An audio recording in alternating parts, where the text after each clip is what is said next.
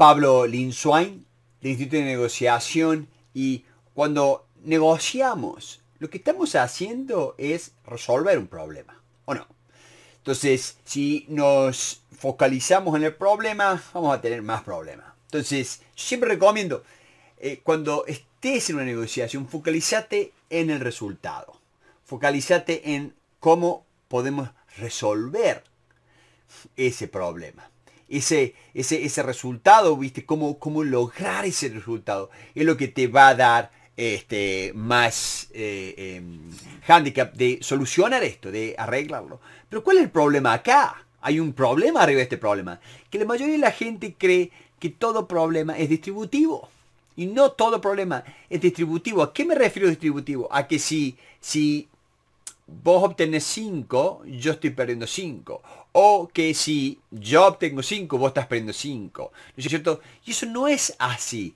La, negociación genera sinergia, genera ampliar la torta, genera otras posibilidades de obtener más. Ahí es donde tenemos que focalizarnos. Entonces, déjame para entender esto.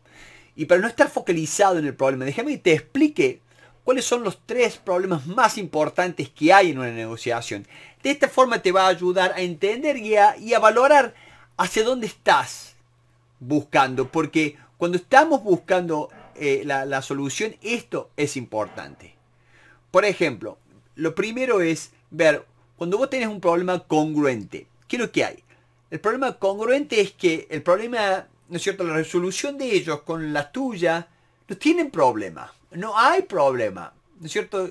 Vos querés algo y el otro te lo quiere dar. Eso es un problema congruente. ¿No es cierto? Eh, eh, eh, ambos prefieren lo mismo. Entonces está todo aliado, está todo integrado de forma tal de que es cuestión de que nos comuniquemos apropiadamente, con respeto y hagamos el intercambio. Y acá yo te doy, cuando vos resuelvas eso, cuando vos te das cuenta que, que los dos prefieren lo mismo, entonces, identifica eso y ofrécelo vos. Entonces, ¿a qué me refiero los dos? Refiero lo mismo. Eh, ellos quieren pagar 10 y vos querés cobrar 10.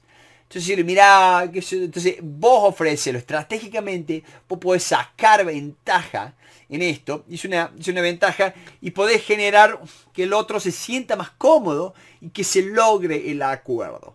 ¿Por qué? Porque vos inteligentemente te preparas, ves, y para prepararte no te olvides de bajar estas preguntas. Bajar estas preguntas son 10 preguntas que lo utilizan todo, toda la gente nuestra acá lo utiliza, todos nuestros clientes, y te va a ayudar a prepararte. Y cuando estás bien preparado es cuando vos sabes cómo, qué está pasando. Este es un problema congruente.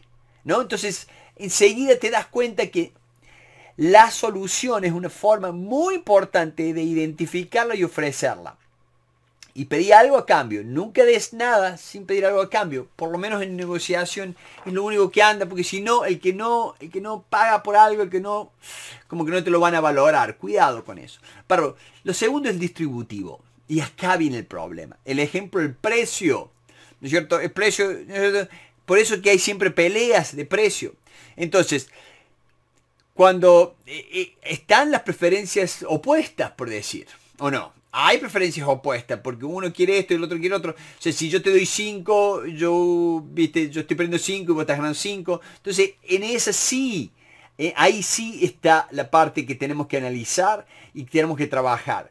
Este, en la parte distributiva, el, mejor consejo que te doy es, en cuanto, al pre, en cuanto a la oferta, no des una oferta si no entendés bien de lo que estás hablando. Espera. Espera, trata de entender bien, porque a lo mejor la otra persona este, si bien es distributivo, pero lo está valorando mucho más de lo que vos lo valorás, o a la, o la inversa. ¿no? Entonces hay que, hay que tratar de entender bien eso para dar la primera oferta, para hablar de precio. hay, hay un error que mucha gente le gusta decir un precio bajo y después sube. Entonces dicen el precio bajo porque tienen miedo de ofender, pero es lo contrario. Las personas se van a ofender más cuando das un precio bajo y después subís, porque el otro dice, pero ¿hasta cuándo? Entonces, da tu expectativa, tu expectativa real, algún número que lo puedas justificar. Y de ahí tenés tiempo para bajar. Para bajar siempre hay tiempo. Y después los integrativos son otro tipo de problema. El integrativo es, Hay, hay preferencias opuestas, pero uno beneficia al otro. ¿No es cierto? Por ejemplo, si un empleado quiere vacaciones, si un empleado vacaciones, por un lado beneficia porque todos tienen que tomarse vacaciones y por otro lado, bueno, eh, eh, la gente de recursos humanos puede ver quién va a estar cubriendo esas partes. Hay una ventaja estratégica que es un intercambio de valor que tenemos que utilizar. Entonces, por eso es integrativo y hay que identificar dónde podemos crear valor. Suponete, necesita, necesita vacaciones, pero justo estas personas tienen vacaciones y justo el, departamento de mantenimiento necesita que la gente no trabaje. ¿Para qué? Para hacer el mantenimiento, para pintar, para hacer esto. Entonces, entonces ahí digo, che, todo el mundo se, puede tomar vacaciones acá y se los doy con tiempo y ayudo y que esto. Entonces, ambos estamos trabajando inteligentemente para generar valor. Son las partes integrativas que es una ventaja cuando las analizamos, cuando lo estudiamos. Siempre hay que analizar, focalicémonos en el, en, en el resultado. Pero ahora ya tenés una estrategia más que cualquier persona. Porque vos sabés que si el problema es congruente, vos sabés que tenés una, una ventaja estratégica. Vos sabés si si hay un, si, es un problema distributivo, vos sabés que hay unas preferencias opuestas. Y vos sabés que si hay una, em, si es un problema integrativo, la, ventaja estratégica está en identificar cómo crear valor acá. ¿ah? Por eso, suscríbanse, suscríbanse, bajen esta hoja. La única forma de identificar esto es preparándote. Baja esta hoja, pones tu email y, la bajas. Muy fácil. Por favor, pónganos comentarios acá en, YouTube. Los leemos todos y estamos continuamente eh, comentando. Y pone en privado, no vamos a comentar su nombre si no querés. Este, pero nos ayuda muchísimo que pongas, saber qué, qué te parece bien, qué te parece mal y qué es lo que más te gusta de este video. ¿Cuáles serían las cosas que más te gustaría escuchar? ¿Cómo estás negociando?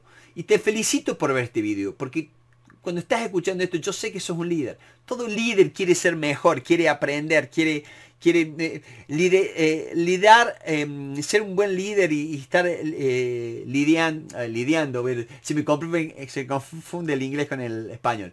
Estar, ¿no es cierto?, trabajando como líder significa prepararse, significa estudiar, significa saber cómo podemos ser mejor. Pablo Linswain, de acá, Instituto de Negociación, te mando un fuerte abrazo. Espero verte, espero ver tus comentarios. Muchísimas gracias. Hasta luego.